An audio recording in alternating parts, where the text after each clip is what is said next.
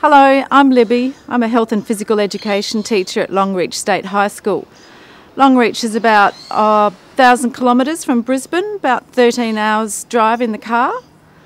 I got two loves in my life Samantha, my partner of 10 years, and sport. Sam and I live together on her brother's sheep property at Ilfracombe. It's about 60 k's outside of Longreach. She works in a pub part time and, and helps her brother manage the sheep property. I was diagnosed with cancer about eight years ago when I was 43 and uh, just blew me away. I just wasn't ready for it. I just didn't know that I was supposed to even think about having mammograms for years to come. Being a PE teacher, I'm into all sorts of sports. I'm just like a bee in a bottle, you know, I'm just going to be on the move all the time. So when I was diagnosed with cancer, I had to be a spectator, and I just think I drove everybody completely mad. I had a break after the surgery. I had a lumpectomy.